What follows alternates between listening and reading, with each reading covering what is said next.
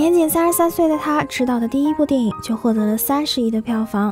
实力派导演宁浩和金马奖影帝徐峥一起为他保驾护航。他就是《我不是药神》的导演文牧野。嗨，大家好，我是王美丽，今天一起来看看文牧野早期毕业作品《安魂曲》。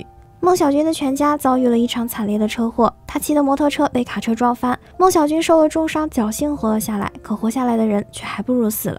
血淋淋的现实摆在他的面前，妻子当场死亡，年仅四岁的女儿严重脑损伤，本来倾家荡产，好不容易维持住女儿的性命，如今又被医生通知情况恶化，必须在一周之内做一台昂贵的手术才能保住性命。得用多少钱？嗯，十二万吧。医生平静地说出医疗费用，就好像报出今早菜市场的菜价一样。作为小县城的修车工，孟小军根本无法在一周之内筹到钱。十二万，他现在连妻子出殡的钱都没有。可又有什么办法呢？活下来的人总要想办法活下去。病房里的女儿小脚肿得馒头大，身上插满了各种仪器管子。要是再没了女儿，就真的什么都没有了。孟小军来到太平间，管理员老张催促他赶紧把妻子下葬吧。孟小军问起老张上周说的那个事儿还有没有了？能给十万？能。帮我联系一下吧。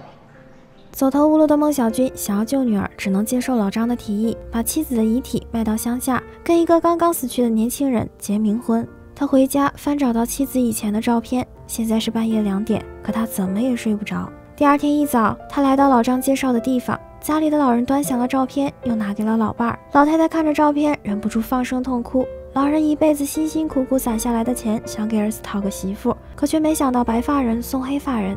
水依旧流着，门外的纸帆飘着，大山平静地承载了数不尽的悲伤。回到家的孟小军抬头看到妻子竟然回来了，忙着找着什么，最后拿过小军手里的梳子，梳好头准备离开。孟小军叫住了他：“放心吧，我接彤彤。”眨眼间，妻子消失了，梳子还握在手里。刚才的一切不过是一场错觉。结发夫妻这次真的要走了。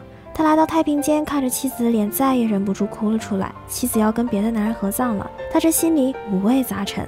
冥婚的队伍长长的，他们奏着歌，老太太脸上泛着一丝淡淡的欣慰。这也算是为儿子做的最后一件事了。孟小军没有时间难过，他得赶紧拿着钱把女儿送进手术室。等手术结束的时候，医生看到累倒在等待椅上的孟小军，没有忍心叫醒他。他明明也是刚刚经历一场车祸的人，脚上的绷带已经走烂了，不知道多少夜没有合眼了。夜深了，烧下的纸钱灰烬在风的吹拂下，似星星般发着微弱的光芒。这是文牧野的早期作品，三年后磨砺出了《我不是药神》这部豆瓣高达九分的作品，是一部迄今为止我不敢二刷的电影。我至今依然记得那天电影院里此起彼伏的啜泣声。好啦，今天就到这里啦，记得关注、点赞、留言呀，我们。